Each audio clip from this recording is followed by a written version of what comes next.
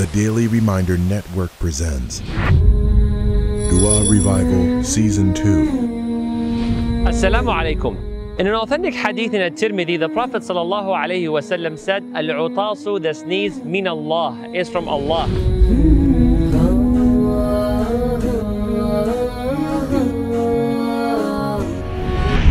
And as in Sahih al-Bukhari, the Prophet sallallahu alaihi wasallam said, "Inna Allah, indeed Allah, yuhibbul utas, likes the sneeze." So if you sneeze, then be grateful perhaps for experiencing something that Allah likes. And as in Sahih al-Bukhari, the Prophet ﷺ said, now pay attention closely to this hadith. If any one of you sneeze, then you should say, Alhamdulillah. All praise is due to Allah. And then his or her companion should say, Yarhamukallah, may Allah's mercy be upon you.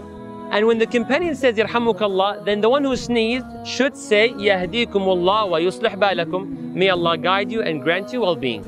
Please note, you should not tell someone who sneezed, Yarhamukallah until the one who sneezed says Alhamdulillah first. As in Sahih al-Bukhari, the Prophet ﷺ had two people sneezing in front of him. He told only one of them Yarhamukallah and did not tell the other one. So the other one who also sneezed, but the Prophet ﷺ did not tell him Yarhamukallah, told the Prophet ﷺ, so and so has sneezed and he made dua for them and I have sneezed but did not make dua for me. The Prophet ﷺ said, because he praised and thanked Allah by saying Alhamdulillah and you did not say Alhamdulillah. In addition, please note that you should also make dua for the non-Muslims who sneeze and praise Allah. But it won't be the same dua which is said to a Muslim who sneezes. In an authentic hadith in At-Tirmidhi, Abu Musa, may Allah be pleased with him, said, the Yahud used to sneeze in the presence of the Prophet sallallahu alaihi wasallam. Why? Hoping he would make dua to them by saying, Yarhamukumullah. However, the Prophet sallallahu alaihi wasallam would tell them instead, Yahdikumullah wa yuslih balakum. May Allah guide you and grant you well-being.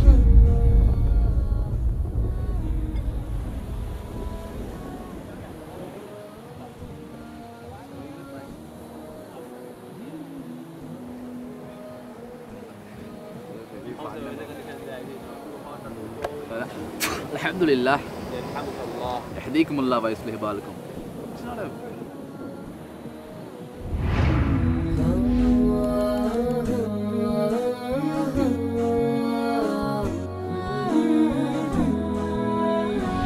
With that being said, may Allah bless you and grant you the highest levels in Jannah.